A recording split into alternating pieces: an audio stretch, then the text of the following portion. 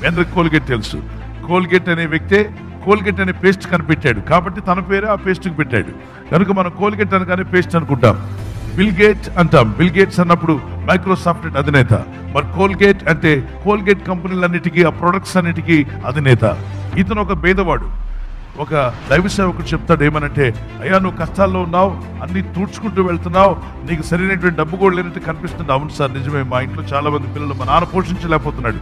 అయితే ఓ పని చేయి నీవు ప్రపంచంలోనే గొప్పవాడు అవ్వాలనుకుంటున్నావు. అవునండి దేవుడు నిన్ను గొప్పవాడిగా చేస్తాడు.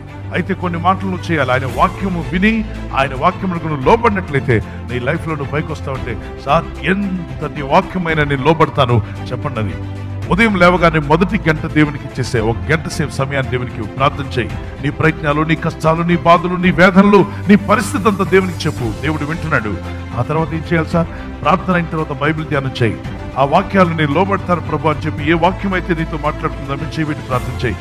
లోబడే జీవితం నాకు దక్ష్యమని దాన్ని నీ అనుదిన జీవితంలో నెరవేర్చడానికి ప్రయత్నం చేయి అలాగే మూడవది ఏం చేయాలండి? నువ్వు ఇప్పుడు ఏం అమ్ముతున్నావు? సార్ మగినమత్తులు అమ్ముకుంటాను. ఓకే మగినమొత్తులు అమ్మినప్పుడు వచ్చిన డబ్బులో దశమ భాగం దేవుని సేవకి దేవునితో నీవు పార్ట్నర్షిప్ పెట్టుకో.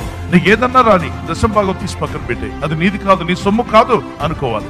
ఒకవేళ హండ్రెడ్ డాలర్లు వస్తాయి టెన్ డాలర్ నీది కాదు అని అనుకో. ఒకవేళ థౌసండ్ డాలర్లు వస్తాయి నావి నైన్ హండ్రెడ్ అనుకో. ఆ హండ్రెడ్ డాలర్ నీది కాదు.